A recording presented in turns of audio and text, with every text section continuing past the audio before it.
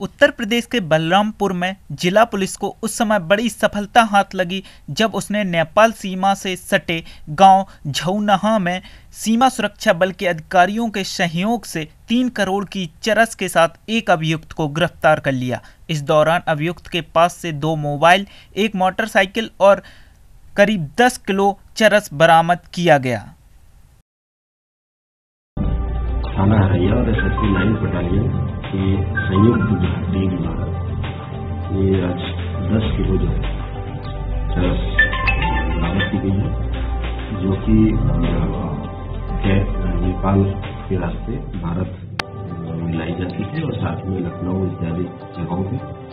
तथा अन्य देश के अन्य जगहों पर भी ये बेची जाती थी जिसमें एक व्यक्ति जिसका नाम अरुण कुमार राजा जो कि थाना नदिया का रहने वाला है